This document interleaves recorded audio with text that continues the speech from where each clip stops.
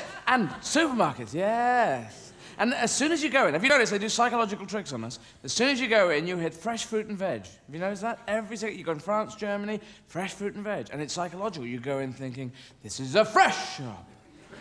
Everything here is fresh. I will do well here. it is, think about it. You never go into the toilet paper section with the loo brushes and the squeeze. Because then you go, this is a poo shop. Everything here is made of poo. I'm not shopping here, I'm. I'm going to Azerbaijan.